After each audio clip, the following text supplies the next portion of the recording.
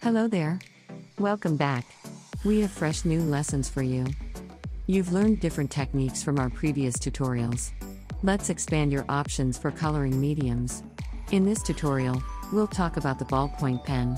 Yes, you can simply use a pen for coloring. How about that? You can find ballpoint pens in various colors. The great thing about pens is that you can bring them with you anywhere you go. We'll color a page from the Ultimate Street Art Coloring Book. Inspired by street artist Rush Bowles' mural in Miami.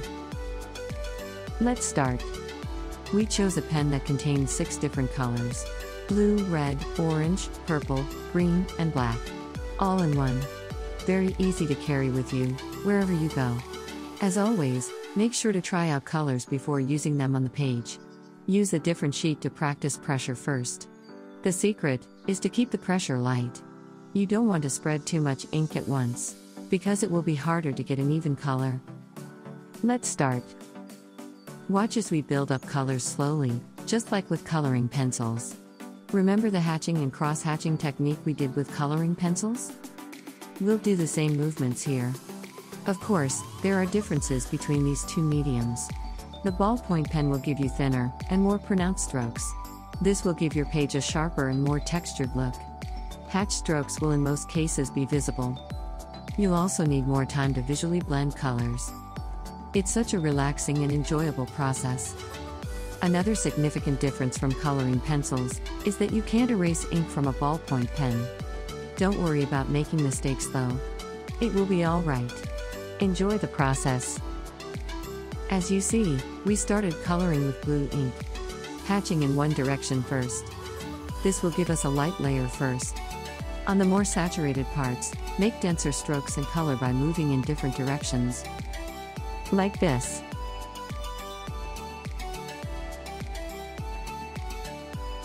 Try to create smooth transitions between tones. Space out your strokes and apply lighter pressure on the softer areas. Another trick to keep in mind is to preserve the blank areas for the highlights. There's no going back when you color with pens.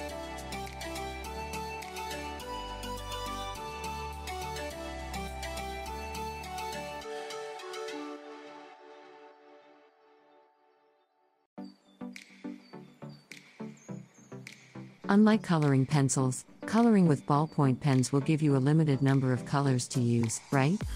That means we have to put some colors next to each other to get the right tone. We'll start with green in this area. And slowly add red and purple on top of some sections.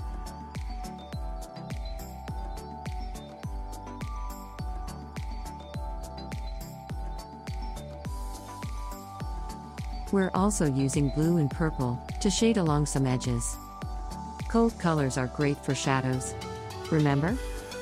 Let's color.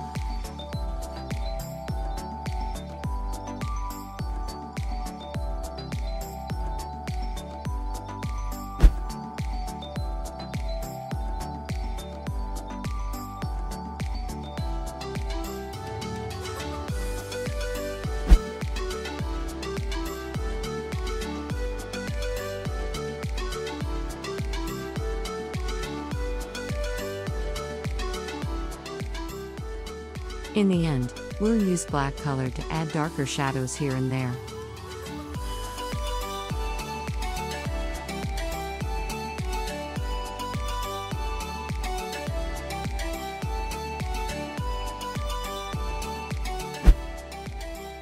And it's done. Are you ready for the challenge? Try out ballpoint pens and show us how it goes. Tag Aimful Books in your coloring pages to get featured and win prizes. See you in the next video tutorial. Learn more at aimfulbooks.com.